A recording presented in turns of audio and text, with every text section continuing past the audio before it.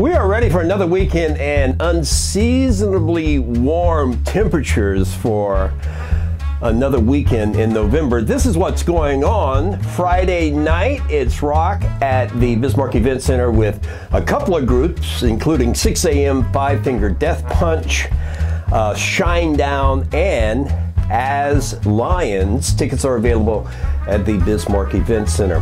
Friday and Saturday, it's the North High School State Girls Swim and Dive Meet. That is going to be at the BSC Aquatic Center, and that is going on Friday and Saturday. Another tournament going on this weekend in the Bismarck Mandan area. This is Saturday and Sunday, the North Dakota Men's Bowling Tournament. That's going on in Mandan at Midway Lanes. Festival of Arts, that is going on at the Bismarck Radisson. This is going on Saturday night, 6 p.m. And what it is, it's a themed dinner with live entertainment and a live and silent auction.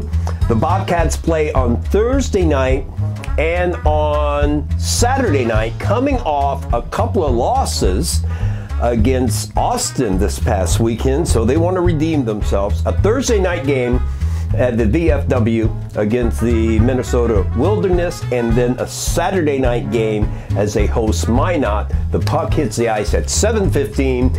You can print and purchase your tickets at BismarckBobcats.com and listen to Paul Tipo at the call on our sister station, Super Talk 1270.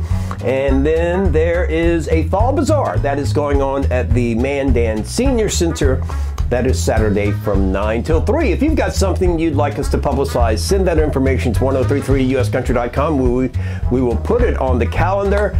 Enjoy your weekend daytime highs in the lower 60s Saturday and Sunday. We will see you next time.